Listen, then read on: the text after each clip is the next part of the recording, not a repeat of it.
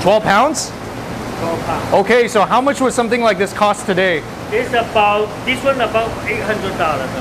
$800? Do a lot of people order this? Yep. Oh yeah?